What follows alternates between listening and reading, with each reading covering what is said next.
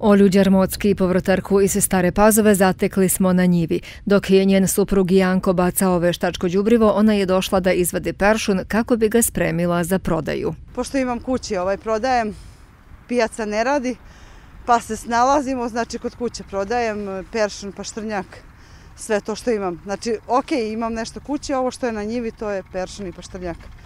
To usput sad vadim. Proizvođači voća i povrća sa teritorije opštine Stara Pazova od proglašenja vanrednog stanja i zatvaranja pijaca prodaju kod kuće.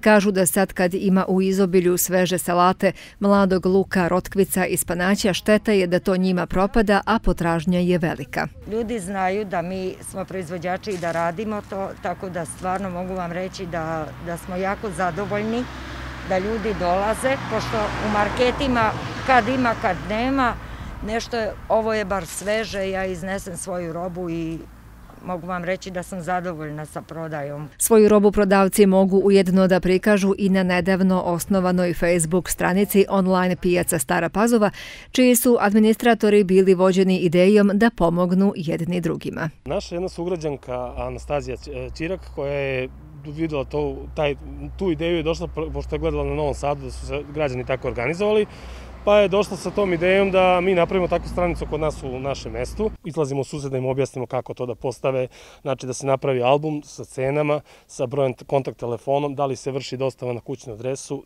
da li ne da bi ljudi bili upoznati kao na pijaci, svako ima svoju tezgu. Ok, ovaj, prosto da mogu i kupci da vide gde mogu da kupe, a i nama prodavcima je lakše, znači nema pijace, na neki način moramo da se snađemo.